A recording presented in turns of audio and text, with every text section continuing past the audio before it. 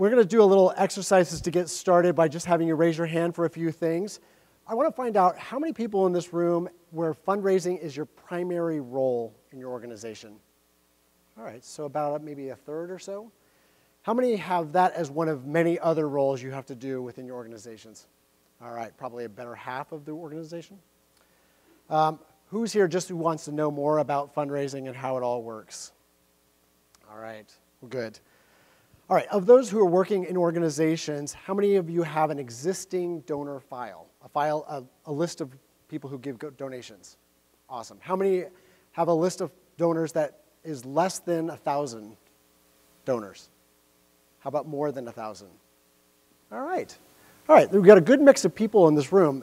And um, let me just introduce myself again. I'm Craig DePole. I'm with Newport Creative. We work with a, wide variety of organizations, but specifically with a lot of animal welfare groups.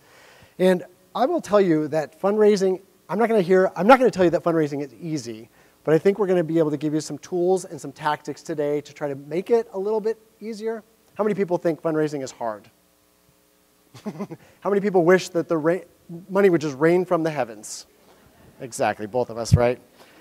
But then you look at cute faces like this. This is my dog Vinny, and you think, I mean, it shouldn't be that hard. You look into his eyes, people want to give money, right? All right. Well, I'm here to tell you that there are more tools than ever to raise money, and it has never been harder.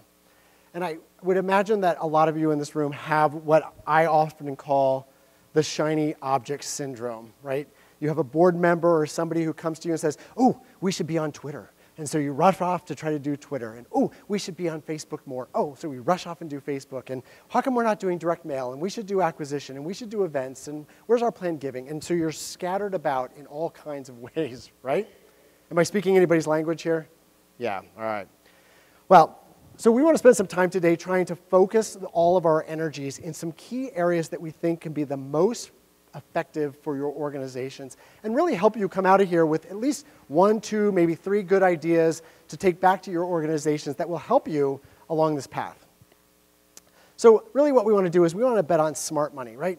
Nobody has an unlimited budget to just spend as if they, you know, had unlimited budgets.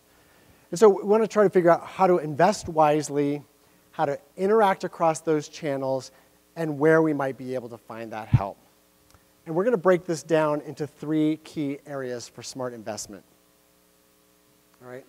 The first one is we want to get more from your existing donors. So, from those of you in the room, uh, you know, we have this donor file. They give to us every now and again, or they give to us as often as we ask, or maybe they haven't given to us in a couple of years.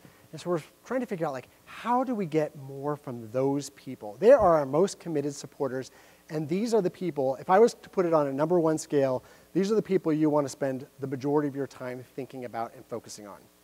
These are the people who already love you, they love your cause, and they're already committed to your organization. So, how do we motivate them some more? I love this graphic. What brings in your fundraising dollars? And, you know, I think so many times we think that the first thing we should focus on is what color the envelope is, or how pretty is the picture in our email, or things like that, right? And I'm not saying that those things aren't important, they're very important. But when we break this down in terms of what really drives your fundraising dollars, you think first about your audience.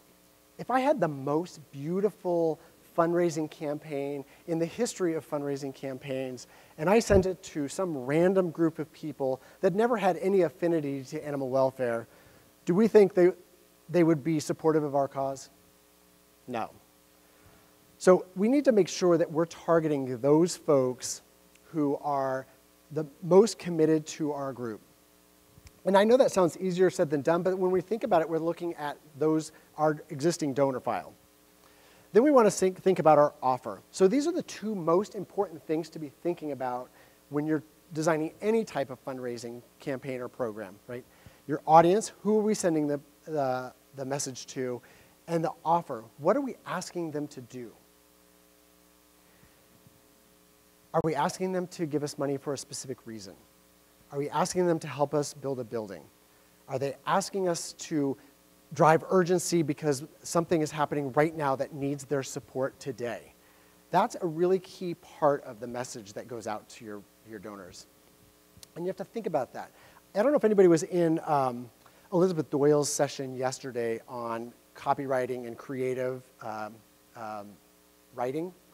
She did a fantastic job. And I, what I want to do is spend a little time just saying that your offer is going to be built out of your story and your emotion. We're going to talk about a lot of tactics and techniques today, but the core of what you're doing is sharing your personal emotion with your donors. Nothing else will change that, right? Um, your message has to inspire. So no matter what the offer is, you need to develop that storyline and that emotion that inspires the hope and the action that you want your donors to take. And the reality is that you're asking your donors to, to support the mission that you, you're basically you're asking the donors to come on board with you to let them fulfill their values through you right? Isn't that what we're doing? We're letting those donors come uh, participate in our mission because that's what they want to do too. They want to help save all the animals. So, first and foremost, doing a little data cleanup. If there's nothing else, everything starts and ends with a good donor file. And don't sleep on your donor file. I know this is one of those things like we would love to just talk creative all day, but we really have to have good names in a usable format that you can access on a regular basis of who gives to you, where they live, if you have their email address, and what other data you have about them. Have they participated in events? Have they given to you gifts, given you gifts in the past? Do they already support you in other ways? Do they volunteer? Have they visited your shelter? Did they adopt? All of that kind of data you want to make sure is in your database, and you want to make sure it's really clean and accessible, right? So if you haven't started on that, please start on that first.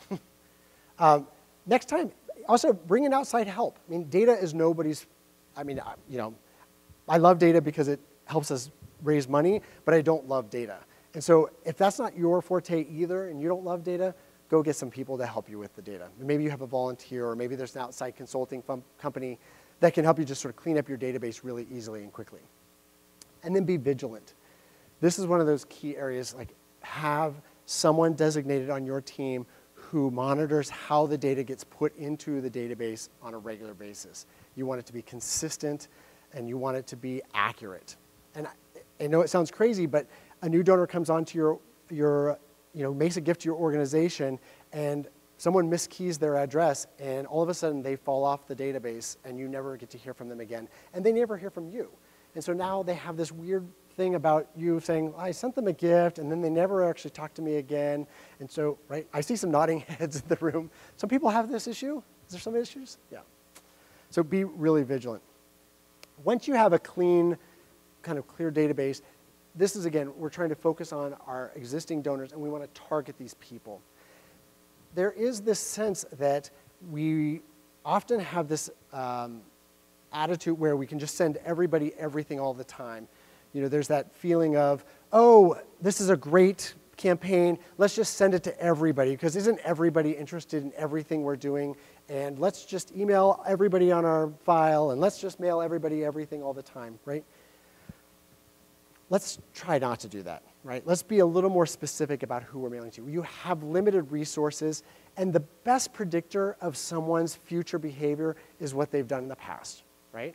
So if they've made a donation to you in the past, they're the most likely to make a donation to you again.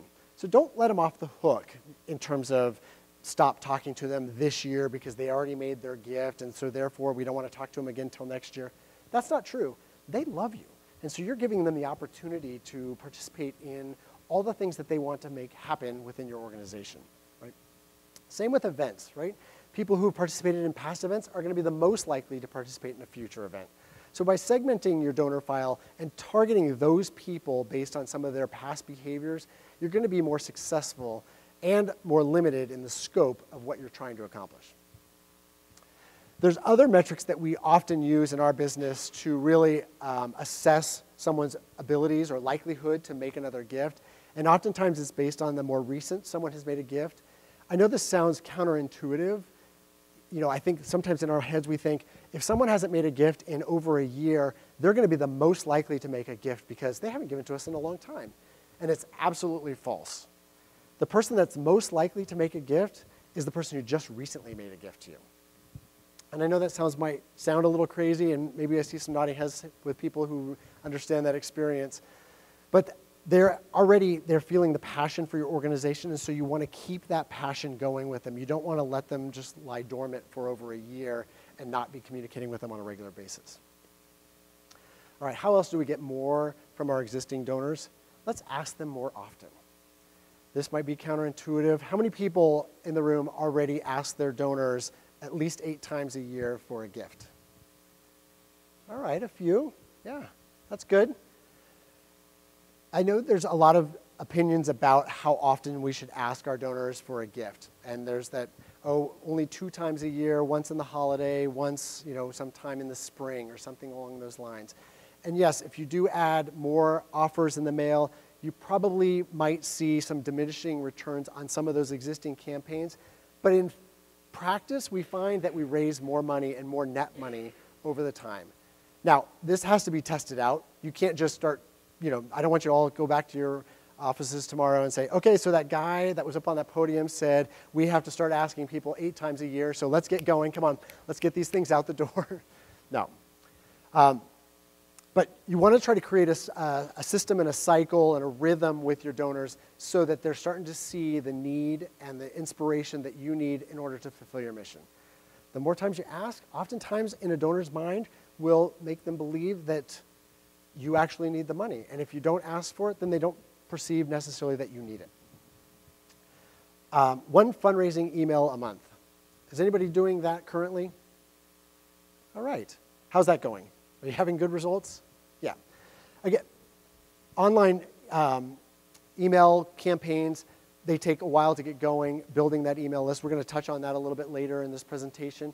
But it's a good thing to just get that in the works, get people to be seeing those messages come across and that you are asking them for a donation. It's not just a, I mean, you know, don't get me wrong, you have to have an inspiring story and a compelling case for support. So I'm talking about a lot of tactics here, but don't forget that you have to have that offer and that creative message in order to build this out. Right? Always include an envelope in anything you send. You never know when a donor is going to feel just absolutely inspired to send you a giant check out of their bank account.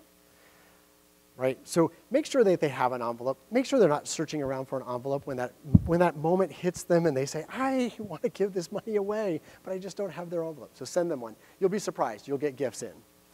Uh, and include a way to donate on every email you send. Make sure there's always a link back to a donation page, no matter what the email is. It doesn't have to be the strongest piece. We don't want every single email to feel like a solicitation, but give them that ability at some point. Make sure that there's a donate button or a donate link somewhere on that email. All right, what are the, so we have limited resources and we want to put them in the right places at the right time.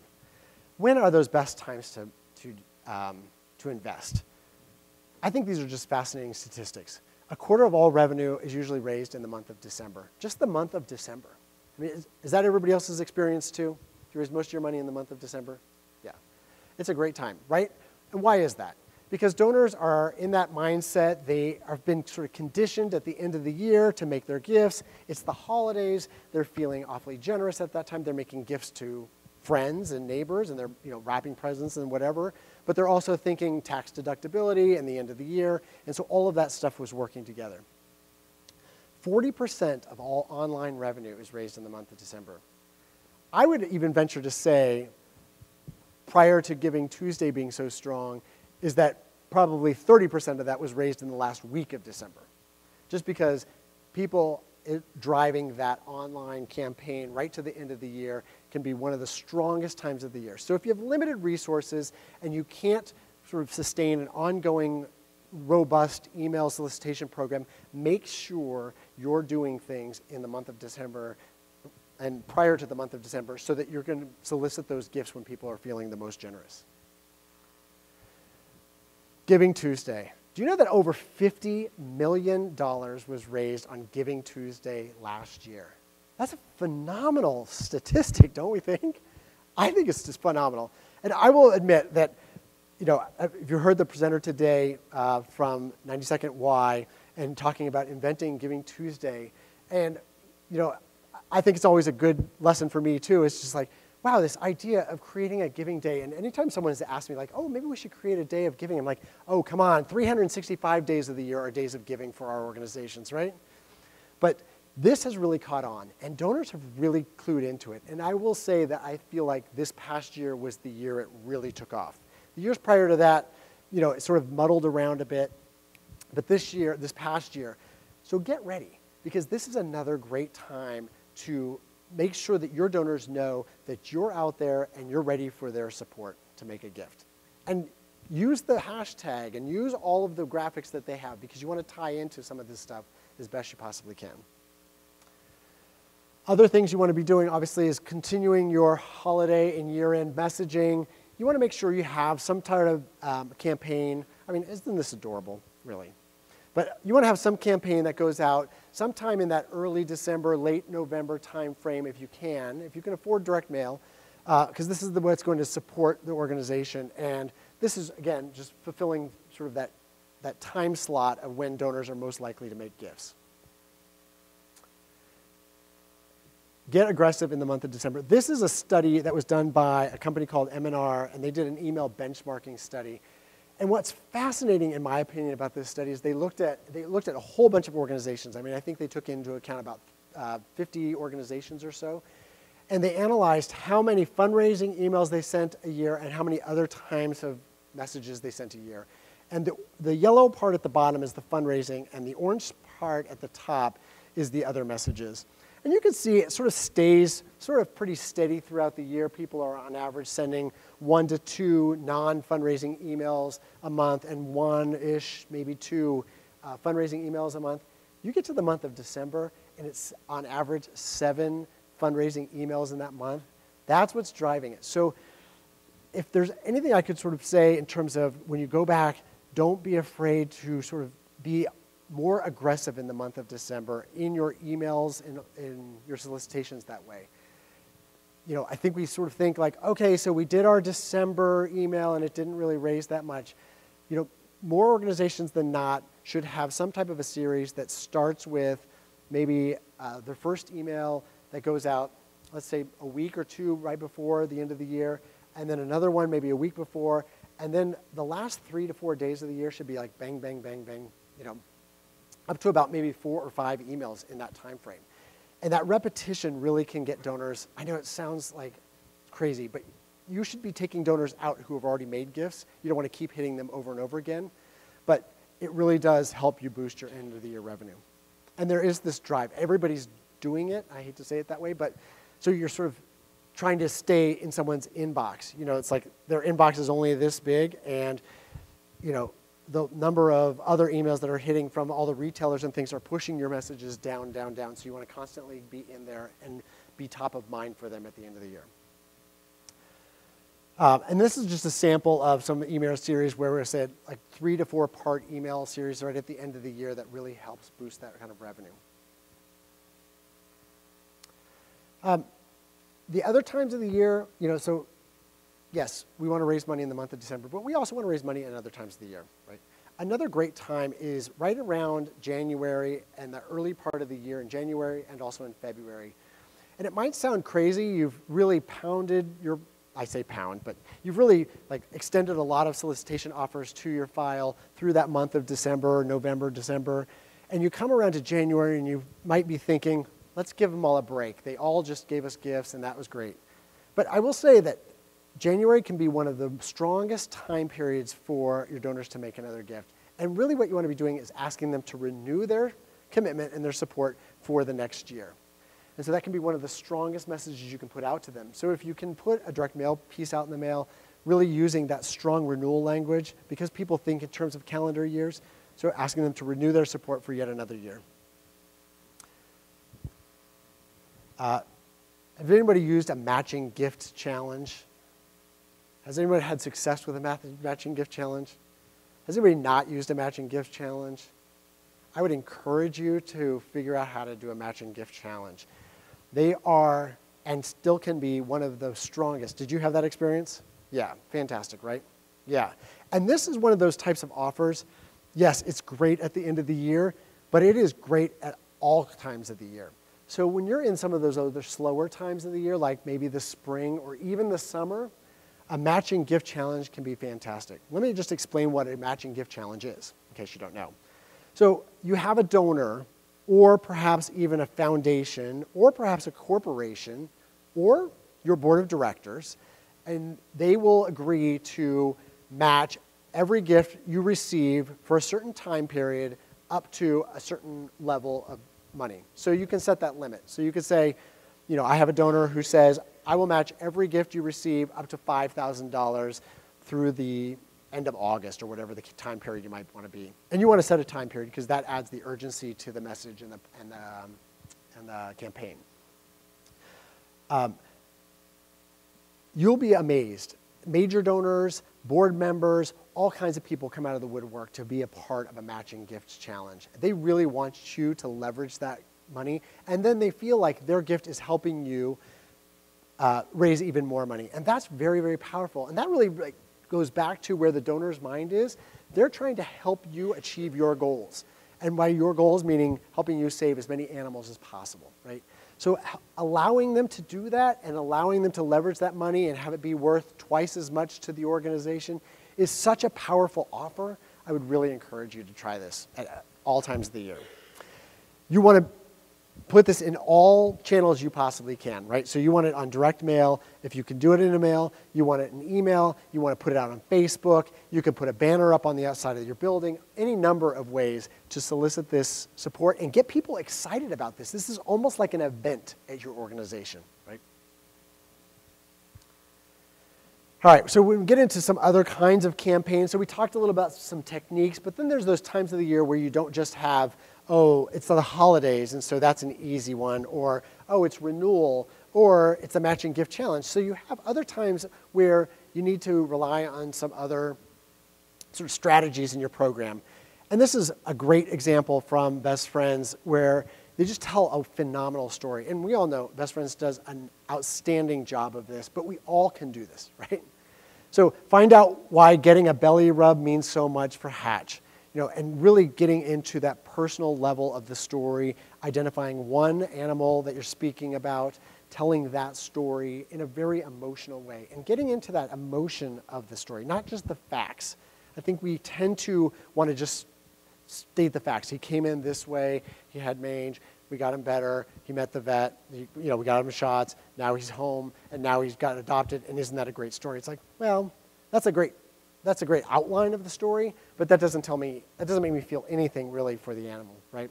And you want to tell that story from a very emotional place and think about it as if you were telling your friends. You know, if you're the writer, um, you know, I think Elizabeth Doyle's session would be incredibly valuable for you, and if you didn't go, I would encourage you to download her slides. But uh, if not, you can certainly work with outside writers to help tune up that language a little bit in your packages and make sure it feels something. And if you're not sure, hand it to a friend or hand it to a relative or somebody um, and ask them you know, if they got any emotion out of that letter. But telling that incredible story can really be the hook, the only hook you need in terms of moving forward. Be really personal. There's some really, really great techniques out there that don't cost a lot of money that allow you to sort of simulate a very personalized communication with some donors. And so handwritten notes at the bottom or handwritten fonts on the outer envelope. Um, you know, and I will say, I'm sort of a handwriting, handwriting font snob. Like, I feel like, ah, if it looks fake, it is fake, and I'm not interested in fake. Uh, there's some really good stuff out there that would really surprise you and, um, you know, I think are pretty impressive. So I would encourage you to look into some of those strategies and techniques out there and talk to your local printers and things. Um, but being really personal, you can see how short this letter is. And this is really a heartfelt, like, we just wanted you to know that we are you know, so grateful for your support. And we want to encourage you and ask you if you wouldn't mind making another gift because we have so much need. And there's you know, this animal, this one particular animal that we want to you know, help. And we have so many more that are coming in behind him. So. How many people have a newsletter that you currently send? And do you send it in the mail or just in email? Is it mail? How many send it in the mail? Oh, excellent. And how many send it just in email? They don't have a mail component. Okay. That's good. Here's the key. Newsletters are fantastic, and you want to have ways to communicate with your donors. But newsletters can also be an excellent fundraising technique. And if you're not using it for fundraising, you're sort of missing a little bit there? I think sometimes we think of newsletters as, oh no, this is my job. I have to report out to my donors of all the things we're doing in our organization and all the details, right? The donor wants to be inspired. They don't really need all the back office stuff about your organization, right? So you want to make sure that newsletter is really donor centered. The whole idea of your newsletter is to make that donor feel really like like they are part of your success, that everything that they've done up to this point has allowed you to be as successful as you are. And so every story should drive in that direction. And that's why I, I wanted to highlight this rescue spotlight, Love to Spare um, Animal Rescue. And it's just a story of these people who adopted. And these are the kinds of profiles and stories that you can do in your newsletters. And I'm sure you're probably already doing many of these, but I think we often have um, the problem or the things that we do, which is like the save the date, which is taking up the whole front of this one. And I, I'm sorry, the slide is sort of um, skewed a bit, but um, you know, it's, it's advertising the event. And that's nice. You want to advertise your events, but can't we do that on an interior page? I mean, this is all about the donors, and we want them to be inspired. Make sure you include an envelope with your newsletter. And if you can, a reply slip. All right, so how else do we get more from our donors? Is we upgrade their support. So we ask them to make a gift larger than they had considered in the past. You know, all donors have a tendency to sort of fall into a pattern. They get into that place where uh, they just constantly give you $25 or $50 and they settle in. And that's great. I mean, we're grateful for those gifts of $50 and $25. But in order to sometimes get donors to think outside of that typical gift, we have to give them more of a reason and we have to ask them for a gift bigger than they've considered in the past. This was an outstanding campaign that we did with Best Friends. Um, and this was, you know, it was sort of born out of this, uh, this guy who works at Best Friends, and his name is John, and he had what they called his bucket list. And John works, I think, in maintenance or something, and so he had this list of items that he would love to be able to buy, but we just didn't have the money for. And they were, they were boring things, things like tractors and you know, a well and you know, a new pump and things like, oh my God, I mean, this would never make a direct mail appeal, right? Like, where's the animal story? But all of this stuff actually feeds back into the animal story, right? If we think about it in the way and we put it through the lens and the filter of the animals, what are we saying about all of these items that we need? It's going to help us do a better job of saving more animals. So we decided, let's create this list that John has and let's itemize it. Let's like literally list all the items that we need to buy and what is that total? And let's circle that. And then what we did was we said, okay, if we took all the people who would typically respond to our appeal and we divided the total by that amount, what would that be? And how much would people have to give individually in order for us to reach that goal? And we found that if everybody who responded gave a gift of $86, we would reach this goal of, of over $800,000 for the, all of these items. This mailing was gangbusters. And people literally came out of the woodwork. We found that we got so many gifts of $86. And why? Because we gave them a reason for giving us a gift of $86, right? We also got gifts of $50 and $20 and $100 and $1,000 and all kinds of gifts all over the map. But it was amazing how, what a large percentage of people so it's like being creative with that offer when you're thinking about how do I get more from my existing donors? What are some techniques and ways we can move those donors to think about their giving in a new light? Now, yeah, many donors did settle back into their old give. Like, so once they gave that $86, then they went back and gave a gift of $50 again. But we also found that people from then on also did make hard, excuse me, larger gifts on, on the whole. So we had a higher percentage of people that went on to have a higher average gift on the file. One of the most outstanding ways to bring up the level of giving of your donors is to move them into a monthly giving program that's automatic. How many people here have an existing monthly giving program? Outstanding. I love it. You guys are a good group.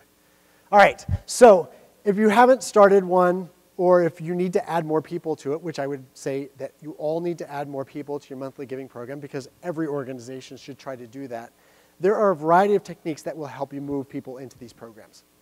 And they are fantastic. I mean, your retention rates on people who give in a monthly giving program are literally near 90 and sometimes even higher than 90%.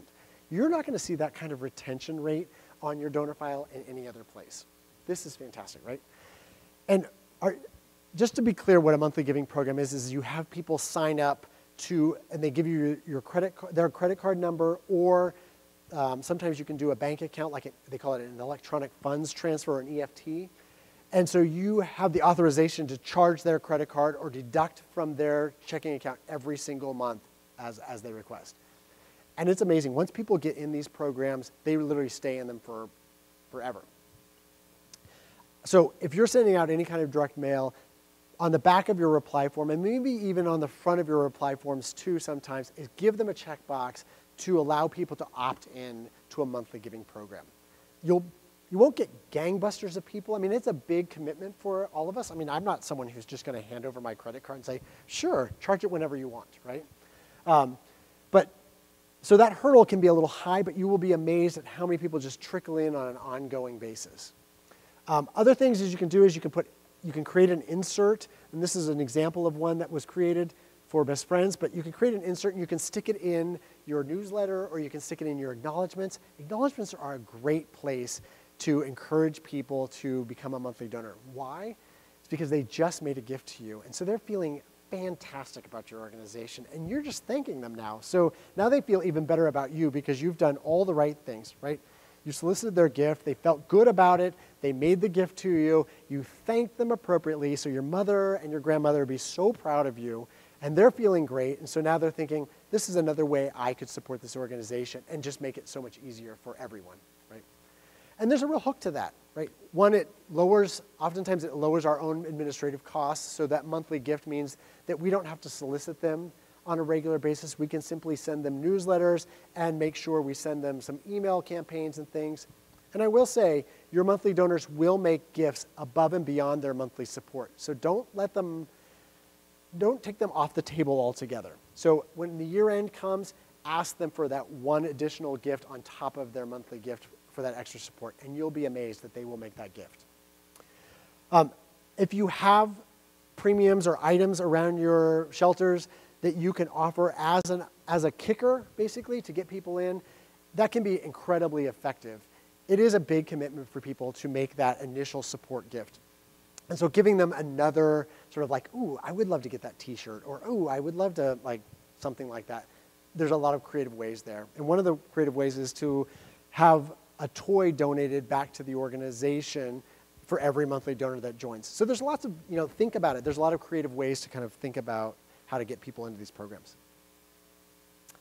All right, and this is just an email campaign that we did as well, and you know that's something you should definitely stick in the mix. So when you're doing your email programs, you know, choose one or two months a year where you're just soliciting people for a monthly giving support, and that will really help boost that kind of program.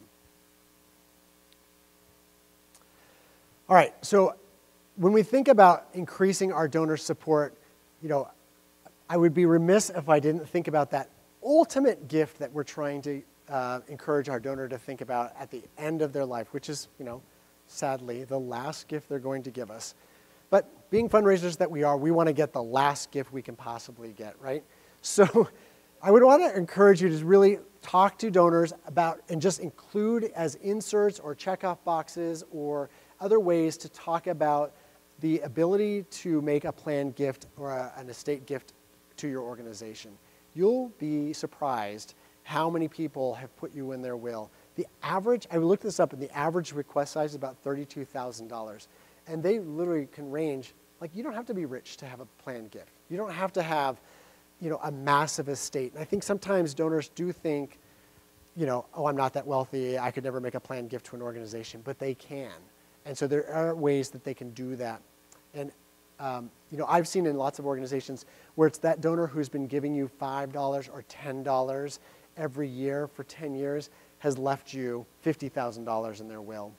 Or out of the blue, you didn't even know this donor and they didn't they never gave you a single gift on your file and all of a sudden you get a planned gift. I see some nodding heads, people are seeing these gifts coming in.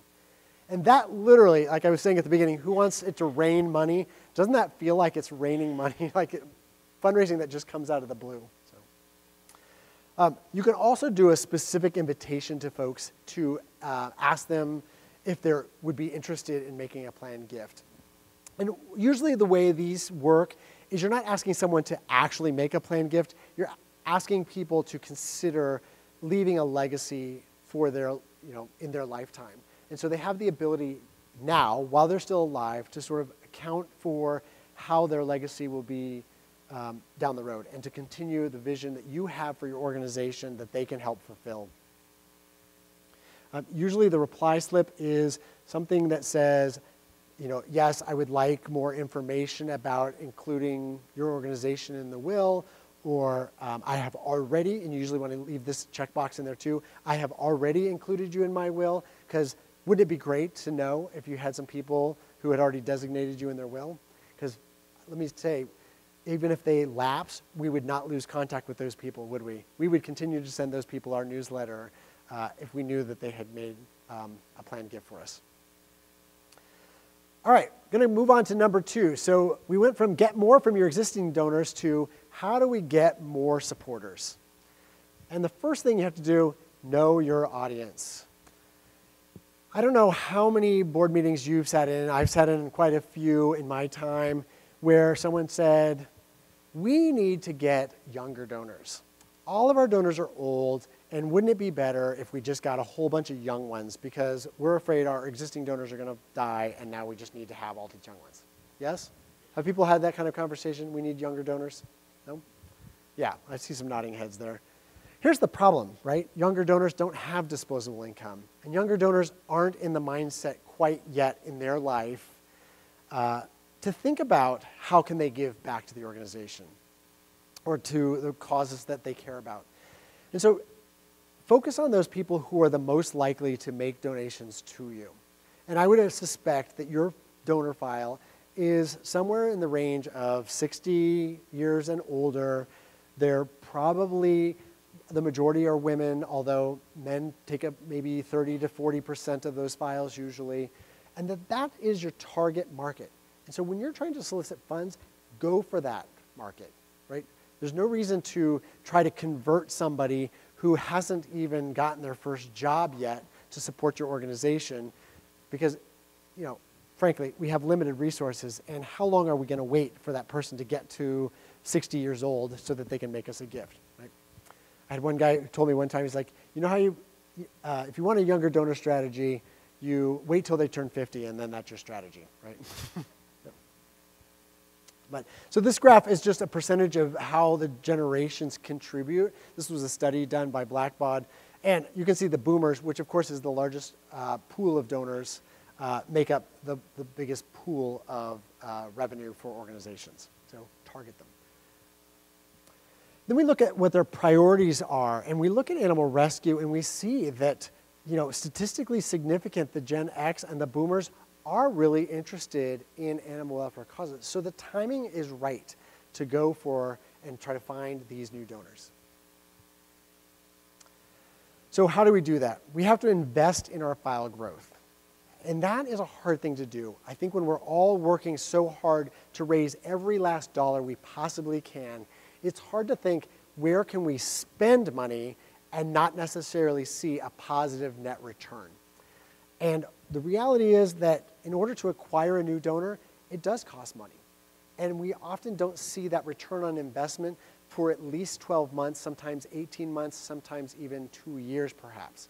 So we have to be patient and we have to be specific about what we're trying to do because we don't want to just start throwing money out there in hopes that we'll bring on a whole new donors. We want to be very specific about that strategy because it is a cost. It's a net cost to our organizations go for the low hanging fruit, right?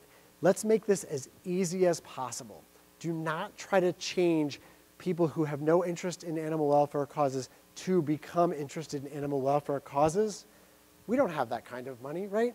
We want to go for the people who are already passionate about what we do and they want to do what they want to help you accomplish your goals. Those are the people we want to go after.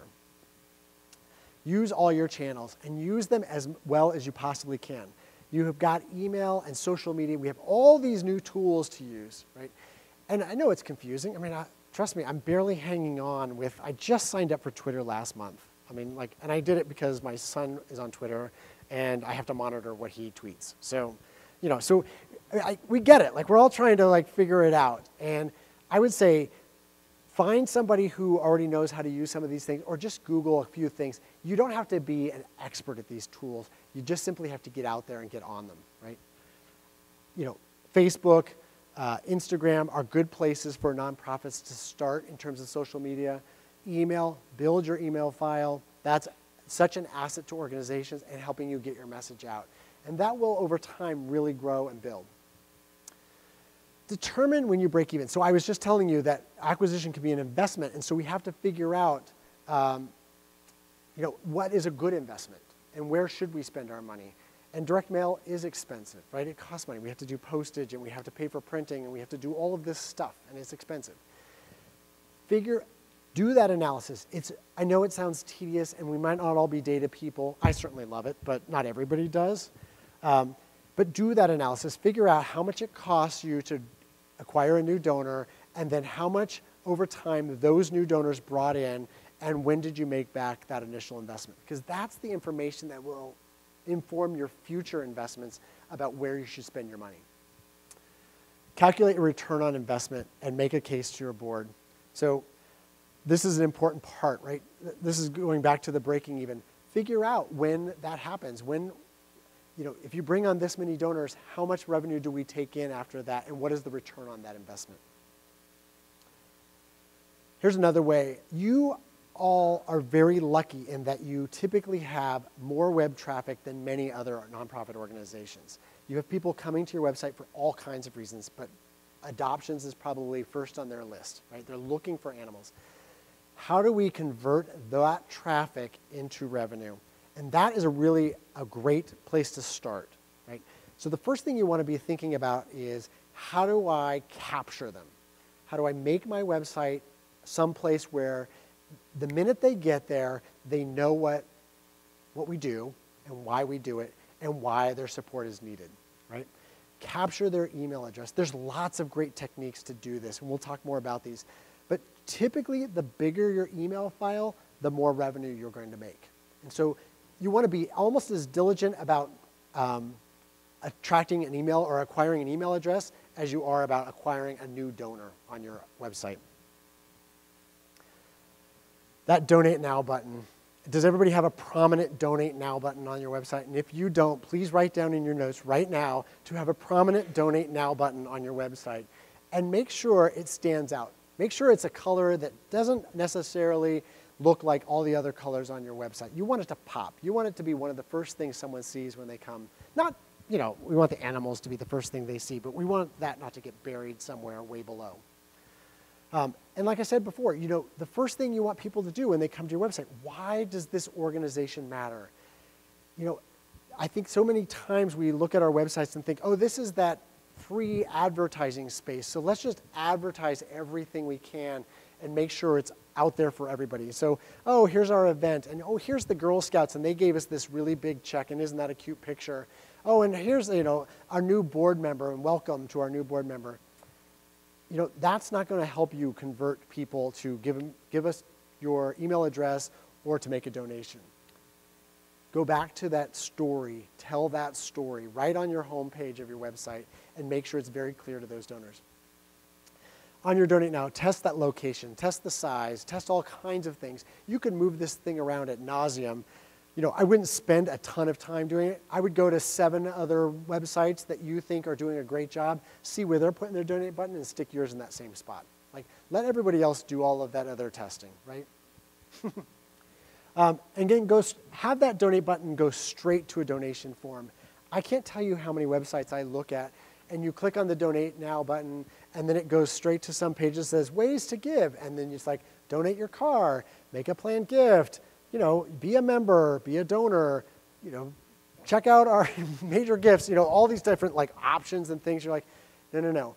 When someone decides that they want to click the button on donate now, here's a tip. They want to donate now.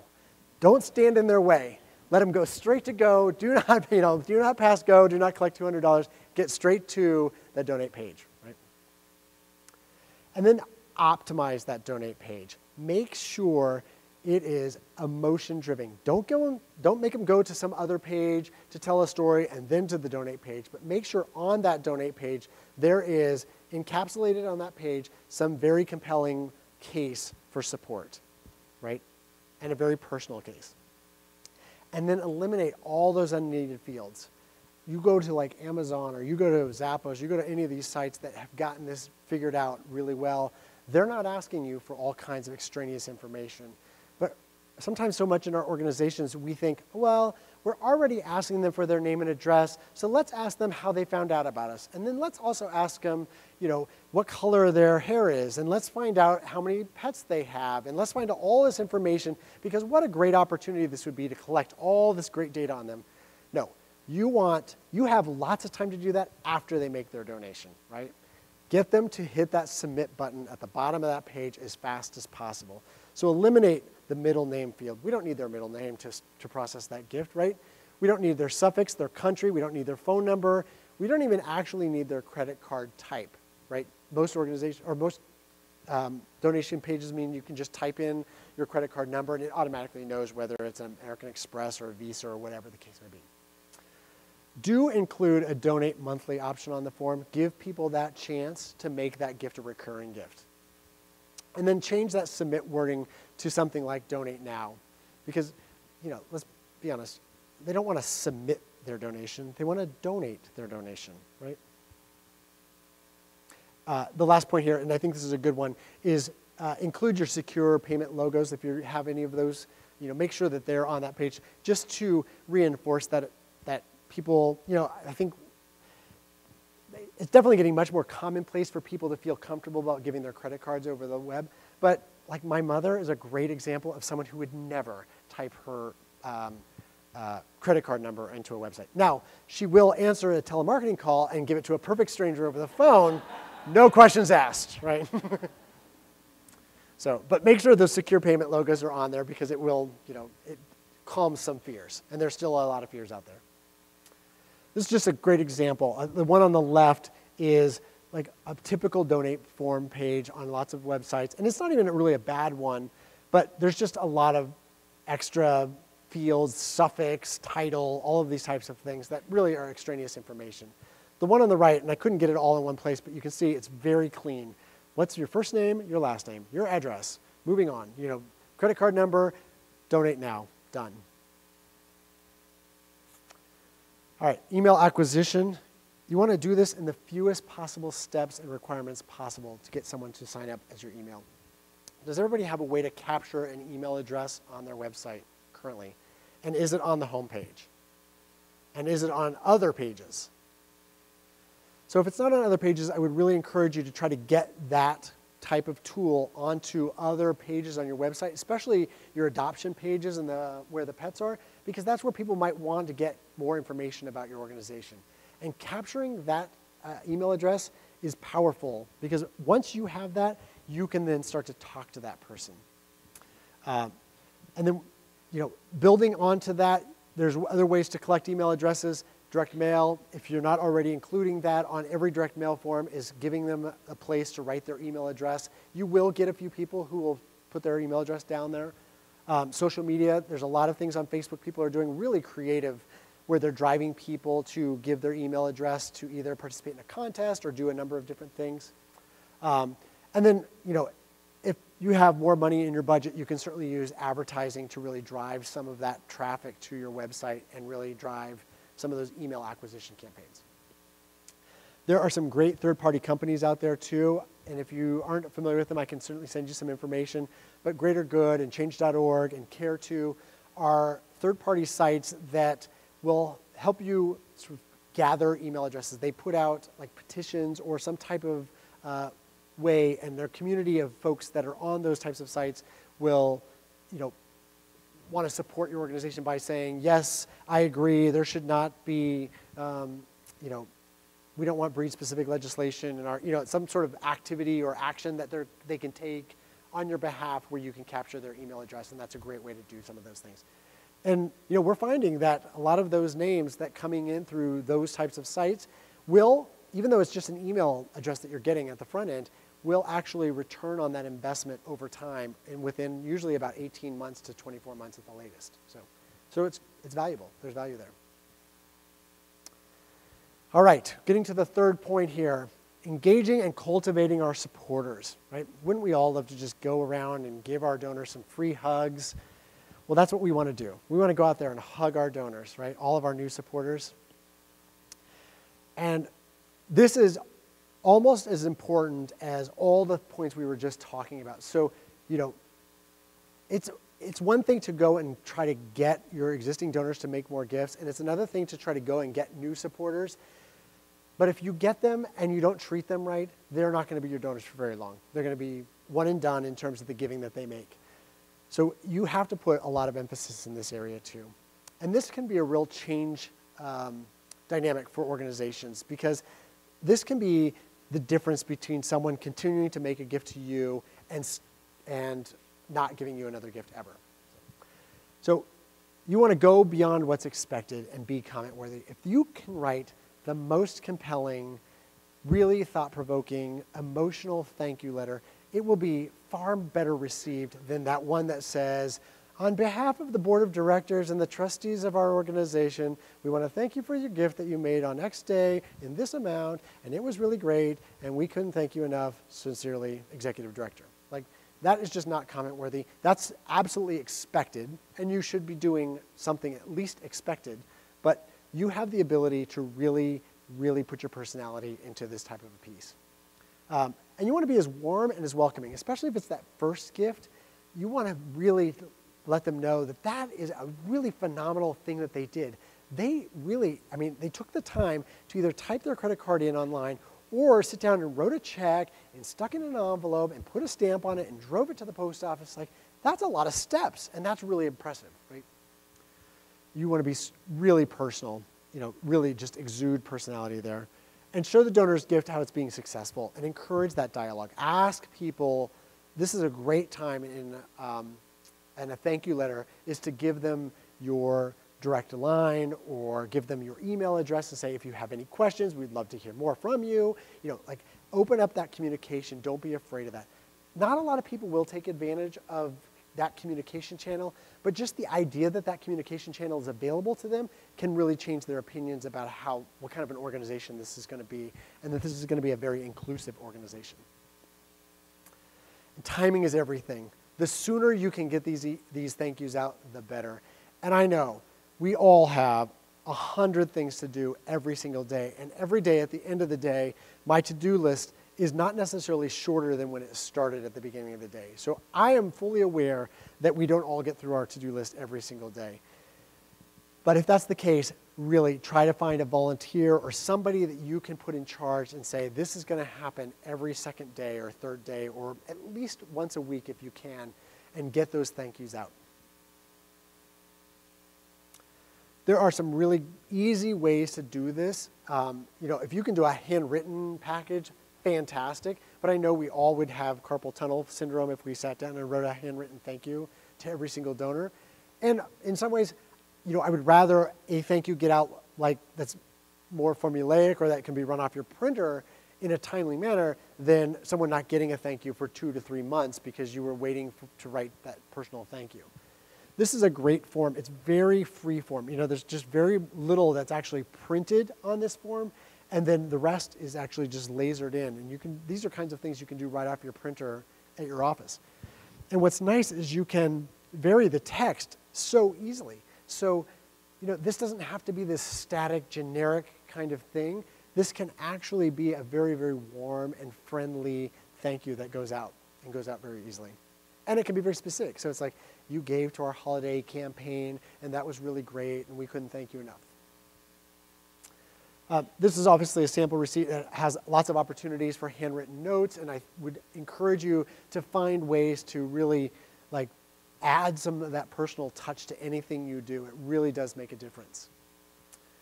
If you can do a phone call, and I, this is again like, oh my gosh, I mean, I'm sure you're sitting and see like, really? I mean, seriously? Do you know what we have to do every day? like, who has time for all this stuff? But If you could have a volunteer or somebody who could just call and do a little quick 30 second, usually on someone's voicemail, honestly, and just say, hey, we got your gift and we wanted to thank you so much. That was really, really great. And you know, you can find people's phone numbers on the internet. There's, it's not hard. Like you can Google someone's name and get their phone number and be pretty accurate with that. So you can't use that as an excuse is that you don't actually have their phone number. And you can't say back to me like, you told me to take phone number off my donate page, so now I don't have their phone number. So you can find it. But don't ask them for another gift. Just engage that conversation. You'll be amazed what people will tell you over the phone. it's shocking. I mean, I'm sure, right? Don't do this.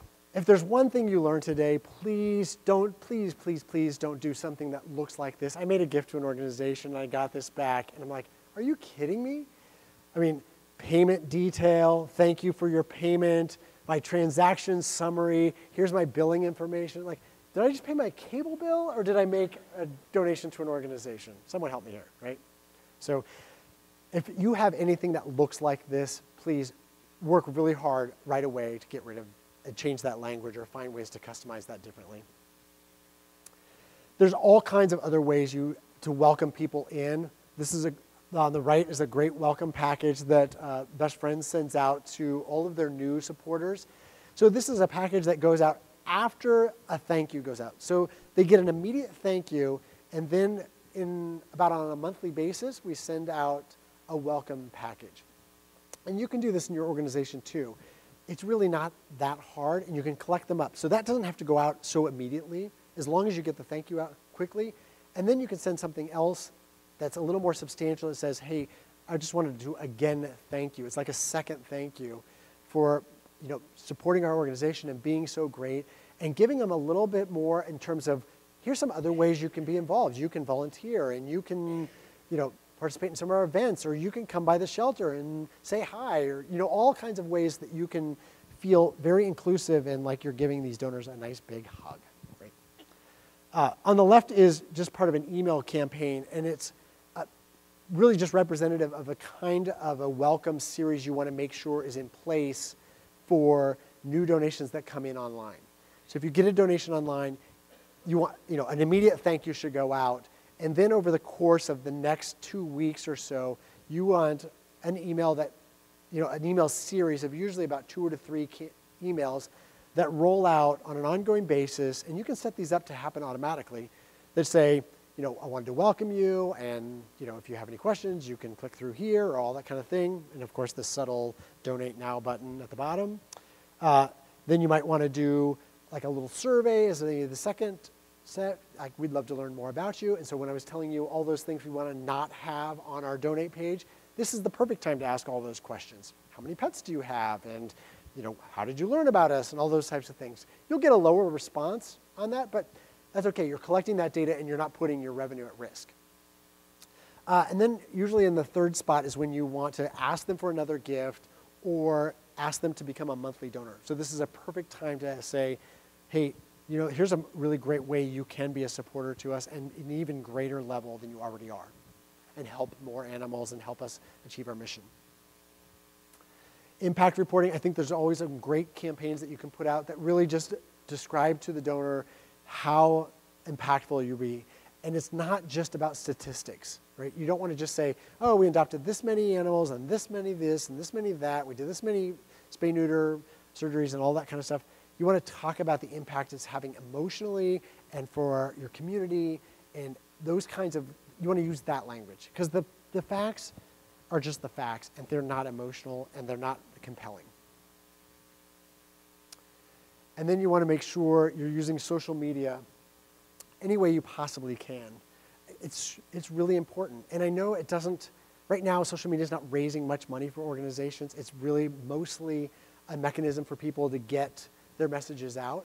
Definitely some groups are doing some really creative things in social media and are raising some money there. Um, but you know, you want to make sure you're using it strategically for your end goal. And what is that end goal? For some campaigns, it's going to be to get a donation right away. But for others, it's going to be to get them to your website or to get them to give you your email address or any of those types of activities where they are starting to share some more information or share your content out to other people so that you can build a wider group of donors. And then weigh that time and effort against the results. I know I talked about so many things we all should be doing every day, all the time. And we don't have an unlimited you know, schedule of time. We don't have staff sitting around wondering what they should do with the next three days that they're working for us, right?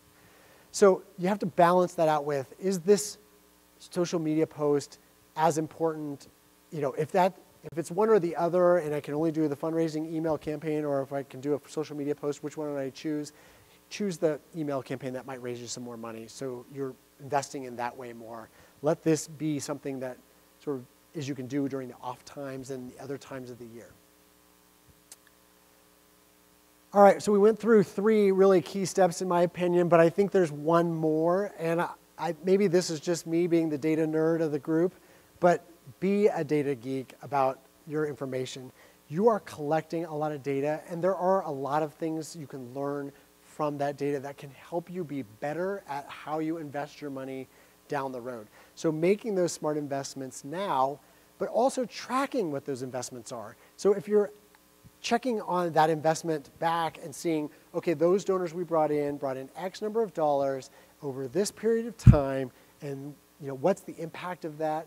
We're tracking our year over year. Last year we acquired you know, 100 new donors. This year we're going to acquire 150 new donors. Those kinds of metrics are really important to show progress, show progress to your board. I think there's even grants out there that can help with some capacity building and things like that. So these are important metrics for you to have at your disposal so you can convince donors, you know, and sometimes even major donors to support you in a way that will help you even grow your revenue even further out and then try to benchmark against your peers. There's a lot of great ways to do that, uh, and there are some free, um, there's a lot of free data out there in terms of reports of what other animal welfare groups are doing and things. So you can see sort of how you compare, and I think that's always valuable information. And the last thing I would leave you with today is that fundraising is not persuading people into giving. You're not sort of coaxing them, coaxing the money out of their wallet. You're giving them and you're offering them the opportunity and the joy of giving to support their own personal values and make the changes in the world that they want to see. So go out there and do it and show me the money, right? All right. I'm happy to take any questions that people might have. I think there are microphones uh, that are floating around the room. So if you want to raise your hand, then they'll bring a microphone over to you.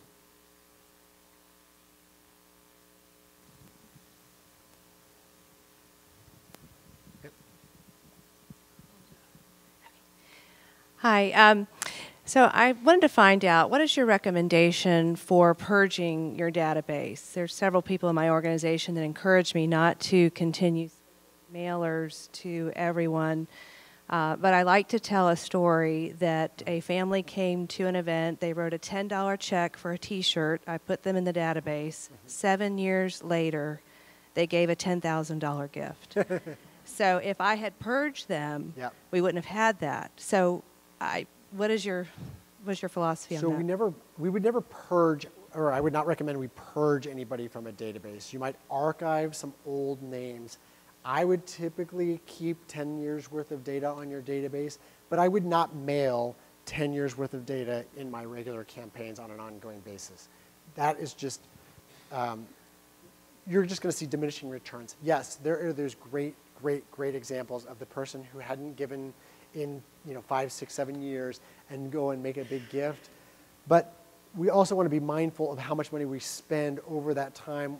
If they've been five years, six years, seven years lapsed, uh, what did it take in order to get that big gift? So I would say, on average, you can mail pretty productively a file of usually zero to three year recency, zero to two, zero to three year recency, right? That group that's in that three years, four years, five years, six years, seven years, I would make sure that, A, if you have email addresses for them, make sure you're keeping them in the loop to some degree. So it may not be in every single campaign you send out, but that they're in a few of the campaigns throughout the year to give them that opportunity, let them know you're still out there. And then I would also encourage you to send them, you know, maybe take that group, find the people who've done more than just make one gift ever, you know, people who've made multiple gifts are going to be more likely to make another gift at some point down the road. And maybe include them in, say, your holiday campaign or something like that, and give them one opportunity, maybe to a year uh, of your very best campaign to perhaps come back into the fold.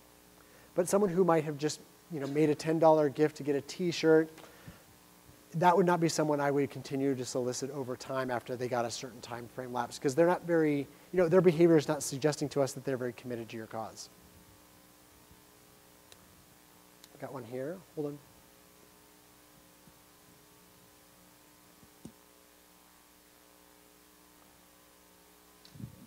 Hi. Um, how do you deal with on email accounts? Uh, I mean, um, you know, email promotions and newsletters via email. How do you deal with uh, Gmail sending them to the promotions folder and you Yeah. know and other things sending them to trash? You know, with filters. How do you deal with filters for email? Yeah, yeah. I'll be honest. I don't actually know that there is a way to really get around that so much. Um, you're just hoping that. Yeah, yeah. Has anybody gotten around that? Thank you. That's a great. So Barbara Kamek with Best Friends.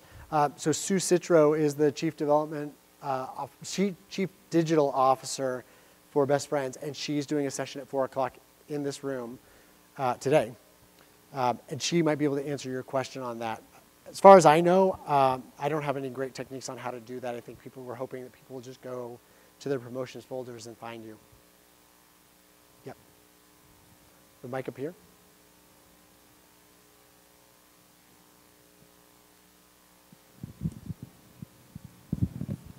Yes, would the suggestions you just gave be any different for engaging donors who tend to donate through community or through donor advised funds, and particularly lo- their local community foundation?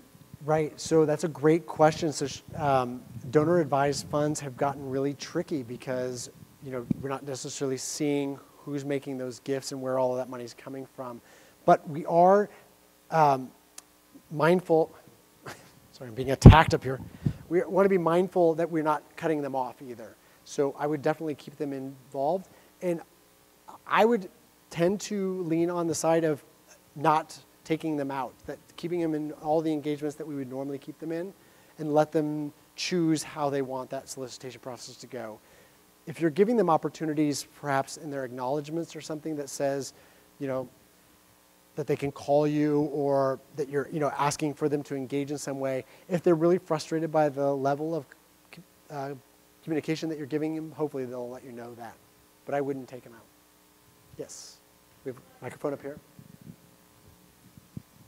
So like care, Care2 petition, and I don't think it's on. Yeah, it is. Um, and Greater Good, they charge you for those email addresses. Yeah. And is it really worth it?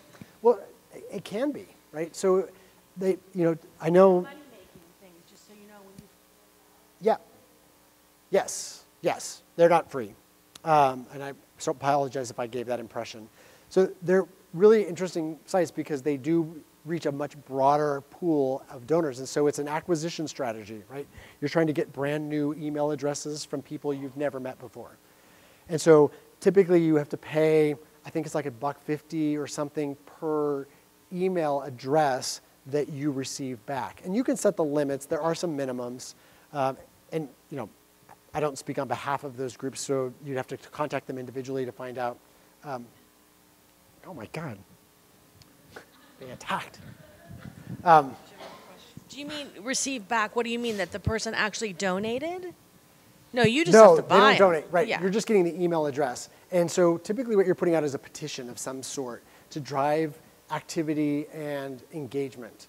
And people will say, you know, people come onto those sites because they want to help you take that action. Help us stop this legislation. Help us, you know, end whatever that whatever you want to put out there, right? And something usually very active because those tend to do better. And then you pay per email address you receive back from them. If you have a good, robust welcome series and ongoing solicitation program online, you can typically make back that investment within about 18 to 24 months. So it's an investment. You don't get it back immediately. It takes time. You have to continue the solicitation process all the way through. And that's true of all these techniques, really. They take time, and I know that's frustrating.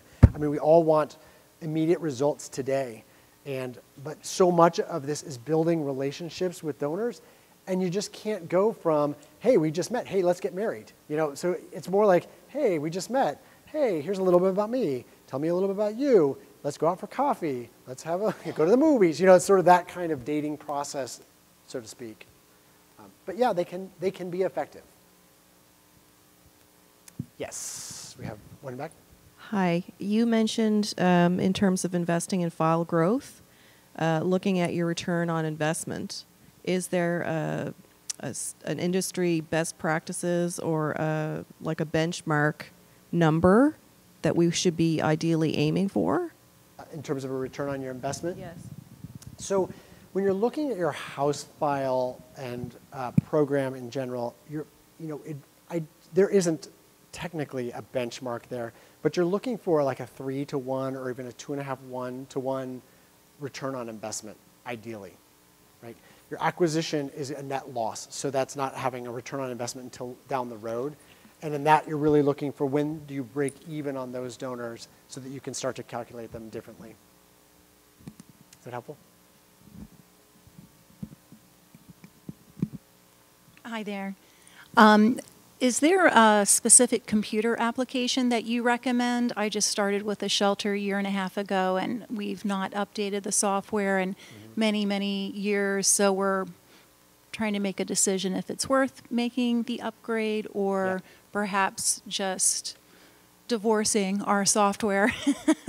so is there any are there any uh, database applications you'd recommend or other folks would recommend that are especially helpful for our work? It's a great question. Uh, so, so many groups use Raiser's Edge. I am by no means a uh, database expert. I think it depends on how big your file is and um, what you intend to use it. You know, how much data you tend to collect, and sort of what you need from your organization. Um, I know Raiser's Edge is pretty standard across the industry, and lots of groups use it. Donor Perfect. And- And I, I know a number of groups that use that as well. So. You've given a lot of, you know, a myriad of ways to fundraise and to grow your files and everything. And in practical application in a small house where one person is development, managing everything in all these different directions, and you might be frustrated trying to get your, you know, just your donate page to do right, and you're not a tech person, and blah, blah, blah. But you know, most of your money comes from major gifts and grants. Yep. Should you just take your day and go six hours, major gifts and grants, and take two hours and do everything else? I mean, I, you know, you see these things all the time of all the things you're supposed to be doing Yeah. and all the things, and you've got your emails to do, and you've Yeah. got this to do, and you've got that. But when it comes down to it in a practical application, when you're in the job, what do you see as, as a more uh, important way to spend your time? Uh, to raise those funds, even though you have all those tools, but Yeah. you know where your money is coming from Right. mostly. Well, you know, I would go back to sort of the go to your low hanging fruit. If, you know, if major donors is where you're getting the majority of your money, and you have a file of major donors that you currently can't get to fully in the way you should because you're trying to do all these other things, I would say, yeah, definitely spend your time with some of those major donors because that's where you're going to get sort the biggest return right now. But you have to build a pipeline. So you can't just only focus here because at some point, major donors either change their priorities or they move on or they die or any number of things that happen there. And so you need to make sure you've got a pool and a base where the next major donor could come from. And I will say that we find it all the time that majority of major donors do come from a low dollar direct marketing program. And they just pop up out of nowhere. And sometimes they pop up seven years later, but uh, they do pop up. So yeah, I, I mean, your percentage I think it would be unique to every single person in the room only because some may not have very many major donors. And so you wouldn't spend six hours a day talking to, you know, 27 people necessarily, right?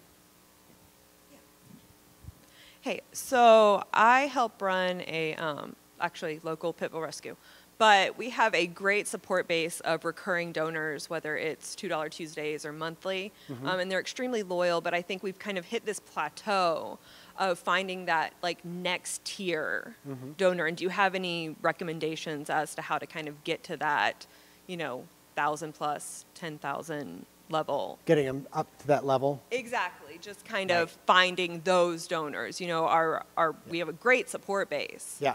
But it's, you know, probably max maybe five hundred dollars where we really need to, as we grow, Mm-hmm. Yeah. get those next level Yeah. donors. So, you know, the short answer is is those people who are already giving to you at the top level are the people that you would want to talk to first. You know, uh, that it, it might sound obvious, but that's the person who might have that best capacity. A compelling case for support at that higher dollar level is critical.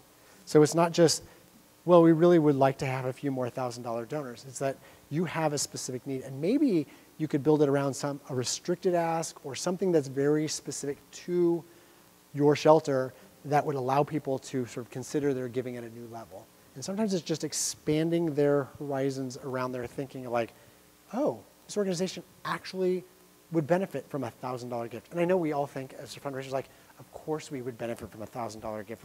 Like ten thousand dollars would be even better, right? But donors aren't just sitting around going, I wonder if I should send them $10,000 today. You know, they're waiting for someone to actually ask them directly. So I would take that top level of supporters that you have and people who've been around for a long time, maybe, and just put it out to them and saying, this is a need. Mhm. Okay. Oh, wait, oh, sorry.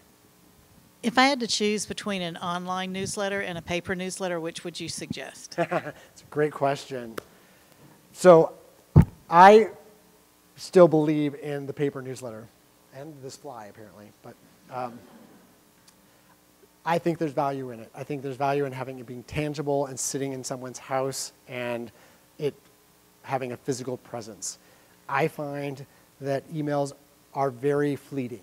They don't last, right? They're in your inbox, then they're below the fold, and then they're out, right?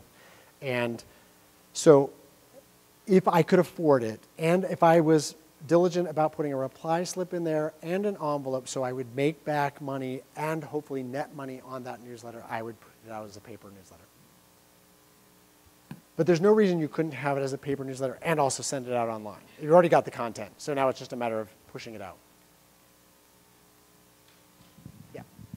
Yeah, I have two quick questions about thank you letters. The Okay. first one is um, if you have a monthly donor, do you send them a thank you each month? No? No. Okay. And the second question is should the thank you letter be signed by the CEO or the president, or should it be signed by the development person? I always think, at, at the end of the day, it, it's not exact. It doesn't actually matter who signs it. Um, but I think it's always nice if it comes from the CEO or the president of the board. Um, if there's a high turnover rate in that position, perhaps in your organization, then maybe I'd look to some other folks. But you know, this, this donor has made a, a gift to your organization, and you want them to feel like they're getting top level support. I mean, really? Am I standing in the wrong spot?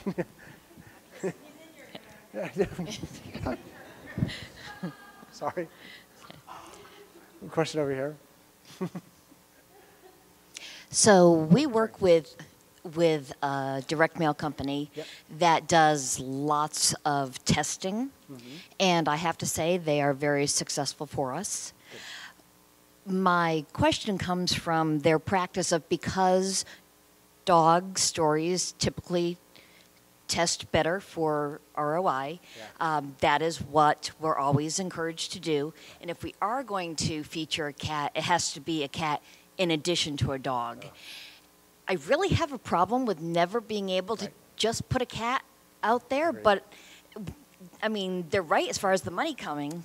Yeah, no, it- it's a great point. It's a great question, and we do work with a variety of firms too. And certainly, our testing has shown, for the most part, that a dog story tends to perform better than a cat story. Now, the flip side of that is that we have done some recent testing with Best Friends, and we're having a lot of success with a cat package that where previously was a dog package. So I think you constantly you you don't have one type of organization. You have a full organization, and you don't have one type of donor. You have a full file of donors, and they're not all exactly the same. And I think you have to have that cat story in there every now and again. And it doesn't always have to be paired with a dog story. I think a really compelling story is a compelling story, regardless of cat or dog. Do you have a Yeah. Do you have a recommendation on how long a newsletter should be? How many pages, a one pager, et cetera? Um, how many cold hard facts do you put in there? I'm kind of a numbers person and I like to see numbers, but I know the, the moving story is what really gets people. So should you just leave that out altogether or put it on the sixth page and et cetera?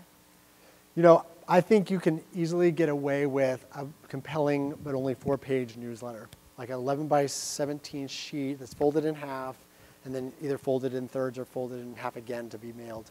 And, um, you know, that, I find that sometimes it's better to be able to get two or three newsletters out a year than one really big eight page, 12 page newsletter, right? So you want the, the majority of touches. In terms of your facts, I, if you can couch those facts in a compelling story, then great. If you want, I would just say maybe on page two or so, three, there's a box and you say, awesome facts or something like that and just pop them in there. I mean, because I, I agree, there are donors who like some of that information, um, but I think they often need the context of what those facts mean within the larger mission. So sometimes they're just the cold hard facts, but as a donor, it's like, what does that mean? You adopted a thousand dogs or something. You know, like, I, is that good? Is that bad? Like, tell me, tell me what I'm supposed to think about that, right? Any other questions? Oh yeah. Um, It's a great we, point. We d- I, I think it's on. Okay. Um, I was previously the development director at San Antonio Pets Alive, and we had a lot of success with infographics. Um, we had a campaign raising funds for heartworm dogs. And what we did, it was um, one of our actual dogs. It was just cartoonized, and um, we had all of the medications and the treatment that is included in the fees for the heartworm treatment kind of um, spotted out on the dog into like if the injection normally goes on the back there was like an arrow and it pulled it out and it just basically charted Yeah. this is where your donation is going and that was really helpful. And then just general medical costs for dogs as well. If you put the microchip it kind of points to the back. If you do the heartworm treatment and you kind of um, identify exactly what the donation is going toward for the medical treatment but it's in a pretty graphic uh, that tends to communicate well. Mm-hmm.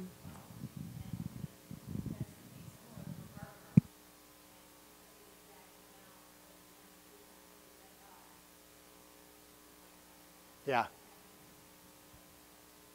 That's great. There's one over here too. I just had one other thought on that subject. Um, for some of you who came to Elizabeth Doyle's session on how to write an effective fundraising appeal, one of the things she said was people are going to remember the emotion that they felt when they were reading your appeal. They don't tend to remember the statistics, but they remember the emotion that the statistics evoked in them at the time they were reading it. So, as Craig just said, tell them what that should make them feel. So, is that great success? And is it X percent better than last year? So that they see the progress and they feel it, that's what they're going to remember. They might not remember the raw number, but put it in context so it creates that emotion for them.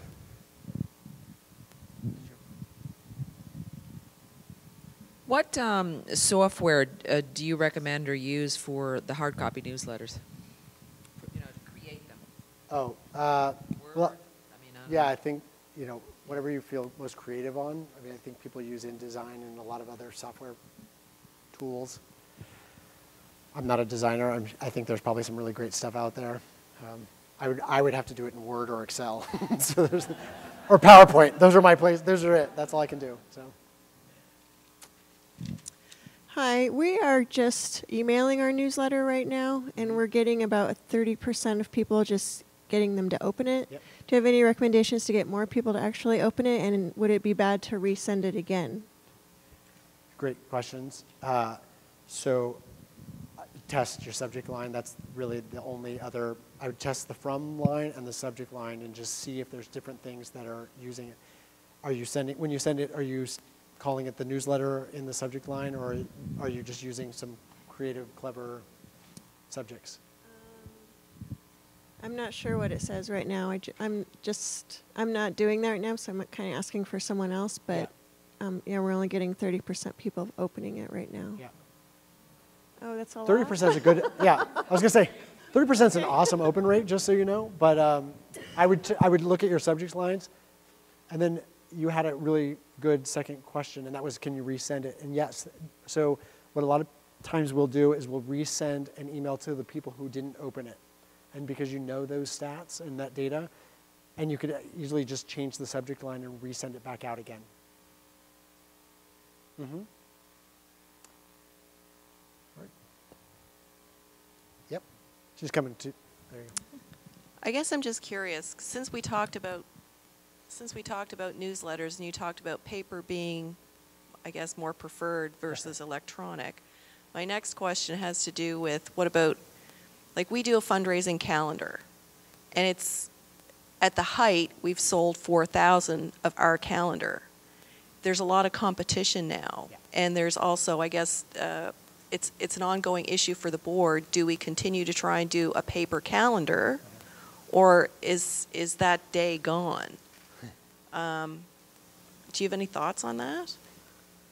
I think uh, the calendars have been successful for lots of organizations, and they use it as fundraisers. I think as long as you're continuing to raise money and it and it works for your organization, it can be a great branding and awareness tool to have them hanging in people's houses. Um, you know, I would I would simply, being the data geek that I am, I would look at those metrics and say, how many, how much does it cost to print them, and how many did we sell, and what does it take to get them out in people's hands, and how much effort and work is it? So. All right. Well, thank you guys so much. Appreciate it.